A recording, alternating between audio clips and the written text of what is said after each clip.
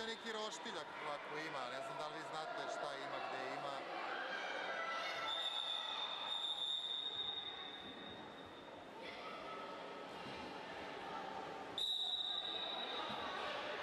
Pa ne pljeskavicu, mislim neki, neki komad mesa ako ima, ako je moguće, znači neka ono vešalica, važnici, nešto tako. Ako ima, ako nema, onda jebi ga šta ide.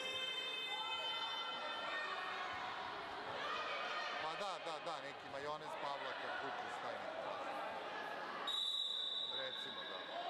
Ako ima, ako nema, opet čućemo.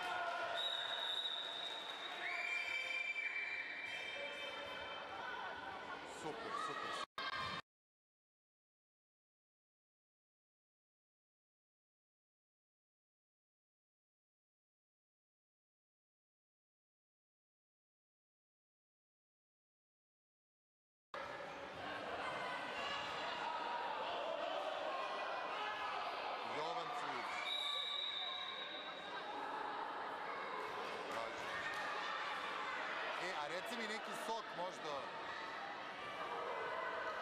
Pa Coca-Cola neki.